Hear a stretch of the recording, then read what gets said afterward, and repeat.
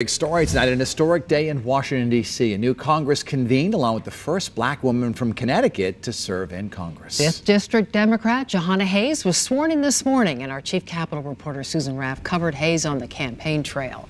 Susan? What an exciting day, really. And in mm. fact, she just basically moved into her office last night and all day yesterday. And today she is out on the floor being sworn in. Very exciting day for her and her family.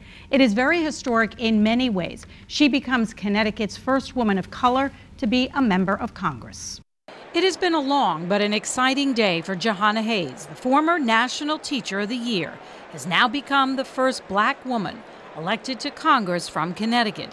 Hayes is a member of the 116th Congress, with new members and a new majority in the House. Nancy Pelosi was sworn in as House Speaker, although 15 Democrats did not support Pelosi's nomination. Together, we will let it be known that this House will truly be the people's House. When Congresswoman Elizabeth Esty chose not to run following a scandal involving her chief of staff, Hayes jumped right in. After many campaign events and debates, she won big on election night.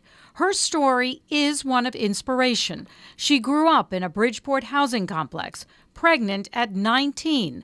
But with dedication and working several jobs, she put herself through college. She dedicated her life to teaching Waterbury High School students and was chosen to be National Teacher of the Year.